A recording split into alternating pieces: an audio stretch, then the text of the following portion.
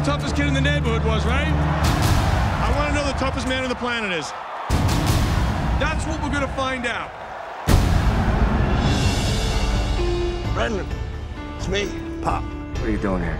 Tommy's back. Did he say if he wants to see me? I'm proud of you, Tommy. What you did for that kid in the tank. What was I supposed to do? Let him drown? Tommy Riordan, you saved my life.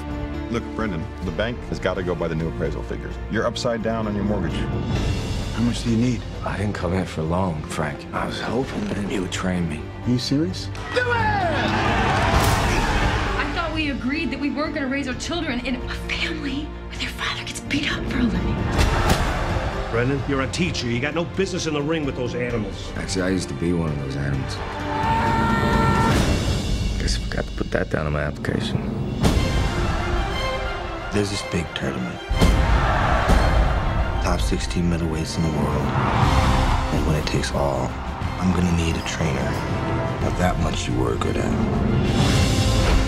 Frank, I need this. I got a family to protect. Everything I do is for them. What's going on up here? Daddy is now a princess.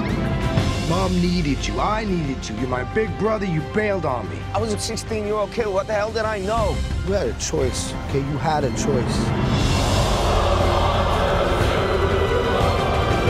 War hero Tommy Riordan, who has become an overnight sensation, and Brendan Conlon, the physics teacher, they pulled off a miracle. You can do this.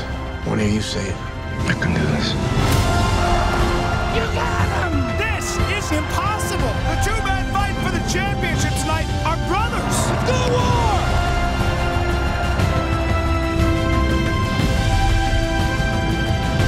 Are we here to win this fight?